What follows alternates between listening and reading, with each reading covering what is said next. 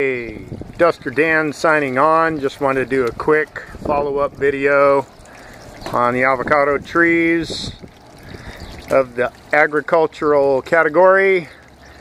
And uh, I think I'm going to argue with the professionals again on this one.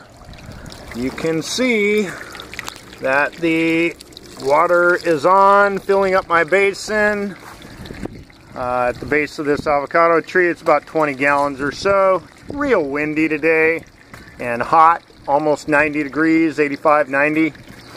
And just goes right back to my discovery and point about hydrating these trees, keeping them hydrated.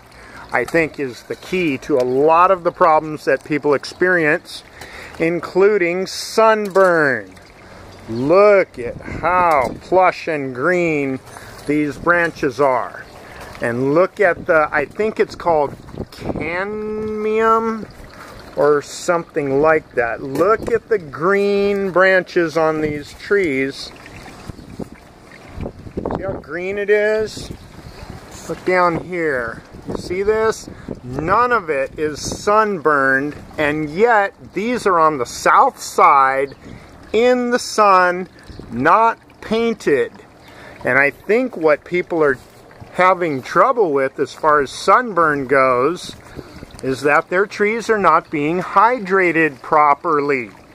And yes, I know they talk about watering them two or three times a week, but I don't care how much you water them if they're not getting hydrated enough. The tips of the leaves are going to burn and the green part of the stems, the stalks are going to burn as well. But I believe, sorry I sound so annoying, but um, gosh, I just get fed up with professionals who uh, make assumptions about things and, uh, you know, promote ideas that are not necessarily true. They're dealing with the symptom instead of the root problem, with it, which is hydration. So if you're painting your stalks, I, you know, you might need to paint them. I don't. I haven't found any need for it at all.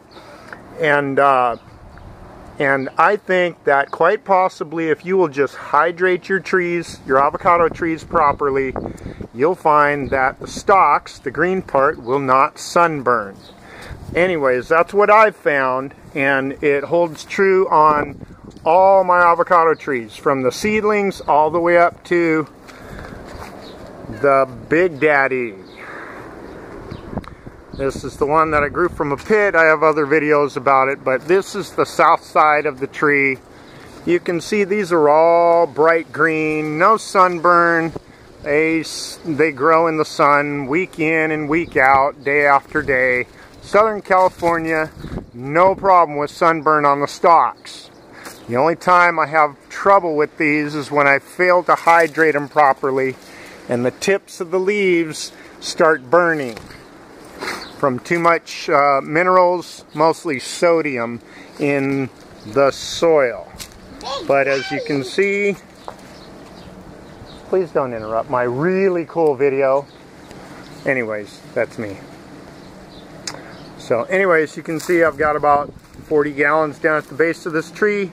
Look at the ground on the outside, around the outside. Dry as a bone. It's windy and hot today. So keeping them hydrated, no sunburn, lots of plush green growth, loaded with blossoms up there. Even have so many blossoms down here on the ground because it's shedding. Uh, it almost looks like it's got a carpet of blossoms at the base. This is the most my, my tree has ever uh, budded out.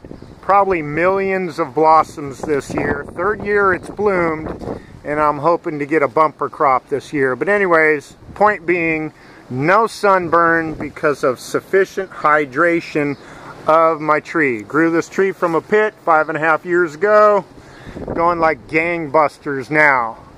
And uh, by the way, it, it uh, produces really large Pinkerton avocados, anywhere from, I'd say about 11 ounces, all the way up to almost 16 ounces, almost a pound.